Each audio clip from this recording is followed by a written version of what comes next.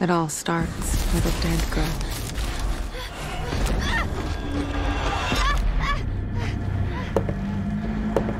Today we're exploring The Medium, developed and published by Polish game studio Bloober Team in 2021. The Medium is a psychological horror game played in the third person perspective.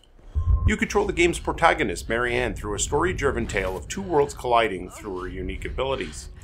The game features dual reality gameplay, often simultaneously, and combines that with puzzle solving, sinister spirits, lost souls, and a thought provoking narrative. The Medium is a single player game with the art book and soundtrack available as DLC, with two of the songs available for free download. No further DLC content is planned at this time.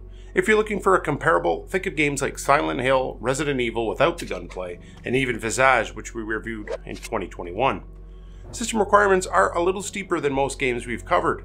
You want at least a 6th generation Intel i5 or a Ryzen 5 quad core CPU, a GTX 1650, 1060, or Radeon R9 390X, and 8 gigs of memory. To get the most from what the game offers graphically, you want to step things up another notch or two.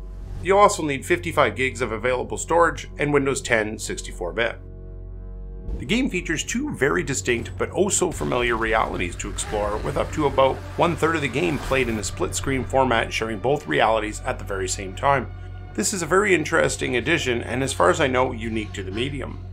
The real world is where you'll spend the majority of your time exploring, but you also spend a lot of time in either split screen or completely enveloped in the spirit realm, where you can talk to ghosts and spirits and explore the world in a completely different light. Not all areas are accessible by both realities, so you may need to think outside the box to perform certain tasks. Marianne has several useful abilities as a medium. Insight will help to highlight paths and at times provide hints. It'll help to tap into and instill experiences, memories, and flashbacks from items and her surrounding environment.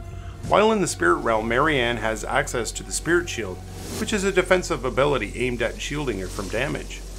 She'll also have access to Spirit Blast, which allows her to focus her spirit energy upon certain objects found in the game.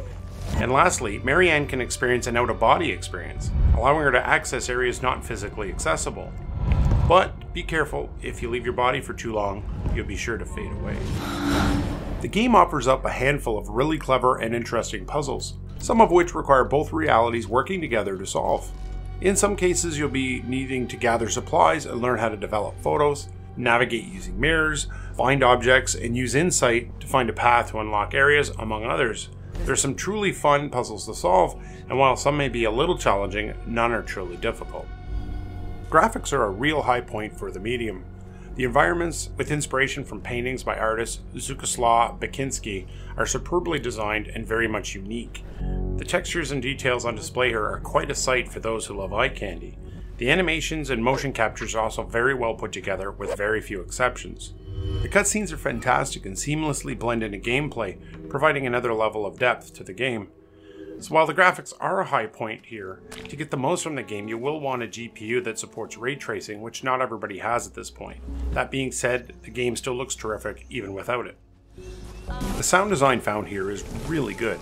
The sound effects are mostly subtle, nothing overbearing, but feel accurate, right down to the heavy and monstrous footsteps beasts within.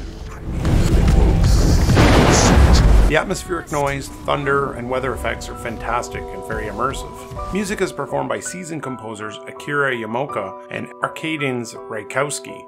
The result is quite masterful. Here, have a listen. Crying,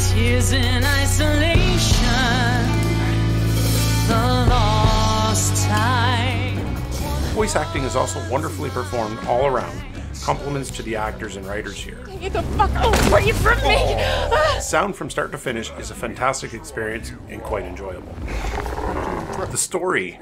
The story, where do I start without spoiling it for you? The story's not what you might expect. It spans decades, explores loss and despair, and strings together a plethora of experiences, past, future, and present. It contains mature themes and violence, colorful language, and references to occupied Poland during World War II. As such, the medium is rated M for mature audiences. Throughout the game, you'll find postcards, notes, and diaries, while exploring visions, echoes of the past, and memory shards, all helping to weave together a grand story. I certainly got a lot more than I could have expected. The game is very easy to learn, play, and control the various abilities and features. A gamepad is recommended to play, which makes movement a little smoother. Using a keyboard, I noticed a few items were a little more difficult to access due to positioning. The medium consists of predominantly linear pathing, moving from section to section as the story progresses, with not a whole lot of room for diversion outside of some minor exploration. That being said, it doesn't really take anything away from the experience. My only real gripe with the gameplay is that I want to intuitively pan the camera and the viewpoint around, but having a fixed camera system, that option just isn't available here. Expect the medium to take between 7 and 10 hours to complete, depending on how much exploration and reading you choose to do. There are some extras to find, such as postcards, notes, and memories hidden throughout the game that might make the game worth a second playthrough, but outside of that, the replay value here isn't particularly high. The game has some fantastic storytelling, backed up by some spectacular visuals, great acting, and audio throughout. It does offer up a few jump scares and is creepy enough to have raised the hair on my arms on more than one occasion, so for fans of horror, this should fit the bill without being particularly gruesome and disturbing. Shock and awe isn't the premise of this one, but there is plenty here to scratch that itch nonetheless.